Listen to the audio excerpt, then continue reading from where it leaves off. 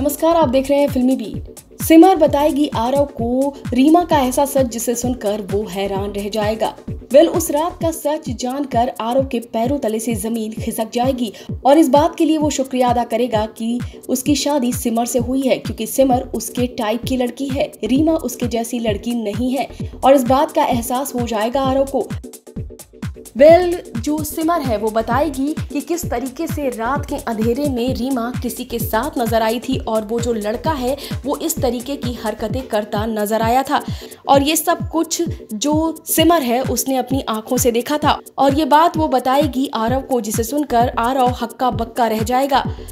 Well, आपको तो ये भी पता ही है कि आरव को धीरे धीरे बातें पता चल चुकी हैं कि रीमा ही वो लड़की है जिससे विवान भी प्यार करता था।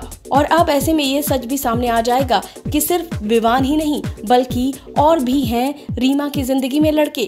वैसे और लड़के तो नहीं हैं रीमा की ज़िंदगी में, लेकिन रीमा की ज़िंदगी का एक ही सपना है, और वो ये कि वो बहुत ही ऊंचाइयों पर जाए, वो मिस इंडिया बन जाए, और साथ ही साथ उसकी शादी ऐसे घर में हो जहाँ पर पैसे की कोई कमी ना हो, और ये सारा जो सपना होता है, वो कहीं ना कहीं से चकनाचूर नज़र आता है। लेकिन इसी बीच विवान भी आरव को बहुत सारी सच्चाइयाँ बताएगा रीमा की। विवान बताएगा कि किस तरीके से रीमा ने उसे धोखा दिया है।